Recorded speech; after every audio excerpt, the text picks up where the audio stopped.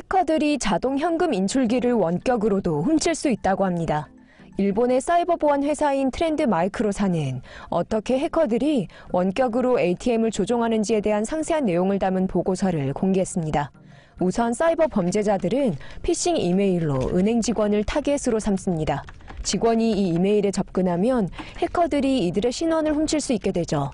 이후 해커들은 훔친 디지털 증명서로 은행 네트워크로 들어가 그들이 타겟으로 삼고 있는 데이터의 정보를 긁어모으기 시작하죠. 이는 lateral movement라고 알려져 있는데요. 이런 해킹은 은행의 주요 네트워크와 ATM 네트워크가 분리되지 않는 곳에서 발견할 수 있다고 합니다. 일단 데이터가 획득되면 해커들은 ATM기에 접근할 수 있게 됩니다. 이후 이들은 소위 잭팟이라고 불릴 정도의 금액의 현금을 대기하고 있던 사람들에게 풀어줍니다.